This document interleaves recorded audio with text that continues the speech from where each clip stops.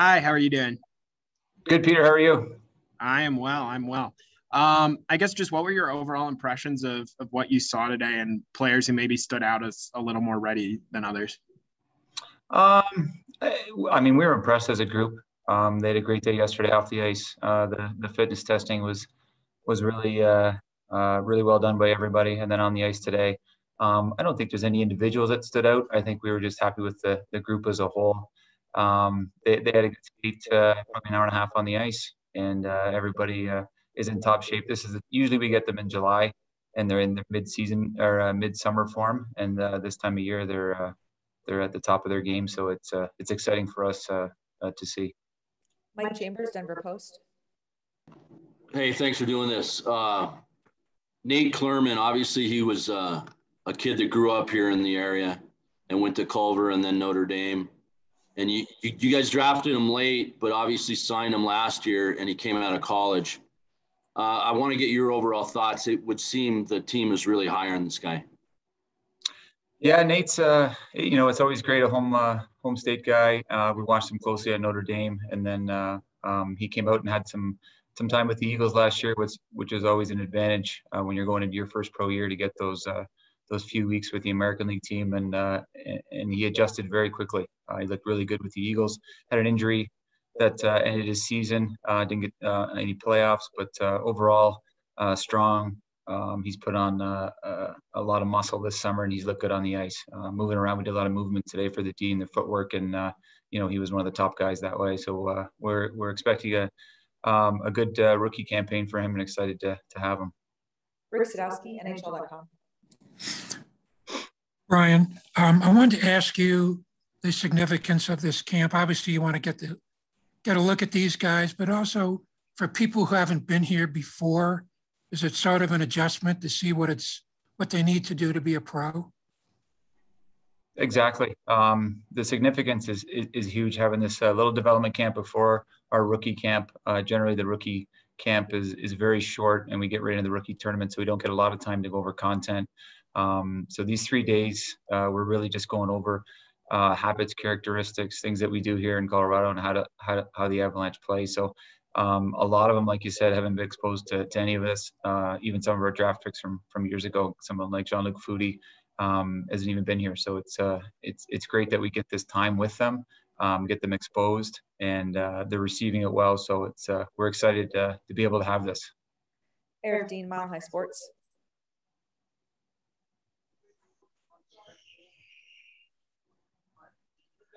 Hey, can you hear me? Yes. Okay, sorry about that. Uh, hey, Brian, I wanted to ask for guys like Bowen Byram and Alex Newhook that are, you know, primed to play NHL games this year, just what could they benefit from a development camp prior to training camp? Um, I, I think it's a competitive advantage for them. Um, you know, they're getting into we call it live bullets. They're they're in uh, games next weekend and, and heading into the NHL training camp. They've uh, they've already had uh, 10, 12 days of uh, of full high pace action. So um, anytime you can get that before you go into to an NHL training camp, it's an advantage for them.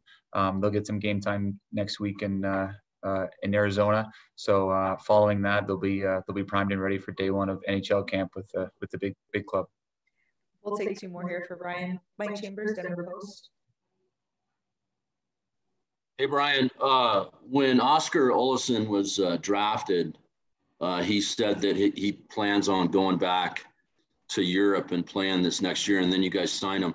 I'm just curious, can you speak of where he might play next season or this season? I mean, uh, um, or is that something a question for Joe or Jared? Yeah, that'd be a question for for Joe and Jared. We're just we're super excited to have him here at camp. Um, you know, having the development camp this late, we obviously lose out on our NCAA uh, prospects and our European prospects, but uh, to be able to sign them and get them in this, and, and like I said in that earlier answer, to expose them to what we're all about, um, our habits, our characteristics, the way we play the game, uh, just to get him in here um, and not having a, a, development camp after draft, it's it's a huge advantage for him and, and just for us to get eyes on him and, and where he lands after training camp, uh, yeah, that uh, remains to be seen. And last one here, Peter Body Athletic. Yeah, Brian, Shane Bowers, I, I, was wondering how you thought he looked and um, it, have you seen any noticeable changes in him from maybe when you saw him at the end of last season to now? Yeah, Shane. Uh, you know, he's uh, he's had a great uh, first few years pro. Definitely put on some muscle, um, and that's what we asked him. Um, he he's got a you know he's got a hockey player body, but just uh, needed to put on some some more muscle and stronger over the puck, and he's done that. Um, he's he's a leader in this camp now, having the having the few years pro under his belt. Um, he's kind of uh, embrace that role with the young guys around here. So we're excited to see how he does in Arizona and then go into into training camp. There's uh, you know there's there's guys who, who move quickly uh, through the through the uh, minor pro and in the NHL, and there's guys that take a little bit long for development. But uh, his development curve is trending the right way, and uh, we're excited to see him in Arizona, and then and then when uh, main camp starts. All right, thank you, Brian. And thanks, everybody. Ask about the changes you've noticed going from the European game to to now, obviously, uh, your first day of development camp on the ice. What what changes did you notice? And then also wanted to ask about if you know kind of your destination next year for where you're going to play. Yeah, it's tough. Uh, the time is uh, changed. Uh, it's like eight hours back from home, uh, so it was tough. But yeah, I'm uh, I'm in now, and everything feels good. Uh, and I think I'm going to play with uh, Barrie after the camp. Uh, we will see. Mike Chambers, Denver Post. I was going to ask kind of that same question, Oskar, but if you do go back to Europe, has that team already started playing? Yeah, they start playing in like ten days, but they have uh, started to, to play like training games. Any other questions for Oskar? Peter Baugh, The Athletic. Yeah, Oskar, I wanted to. You were in a group with Alex Newhook. What was it like working with him, knowing that just a few months ago he was playing in an NHL playoff games? yeah, he's a very good player and a good guy, uh, and it's nice to compete uh, with him the, on the ice. So yeah, very very nice to compete with him and see him on the ice. and then the, oh, sorry, Peter, go ahead. Sorry, Danielle. And then it looked like in that last drill, especially, there was a lot of physicality. How did you feel you reacted to that, and how did you think you did in in that drill at the very end? Uh, now on the ice, or what do you mean? Yeah, on the ice, the one where it, there were like one guy would pass it in and you guys were kind of fighting for the puck at the end. Um, yeah, uh, it was tough. Uh, I have to adapt to the altitude. Uh, it's tough now in the beginning, and I haven't been on ice for like one and a half week. So yeah, it's tough, but yeah, it's nice to compete and do it again. And last two here for Oskar, Callie Parmalee, Avalanche.com. Hi, Oskar. With this being your first camp with the Avalanche, kind of how did you think the first day of on ice work uh, with the, the new organization went?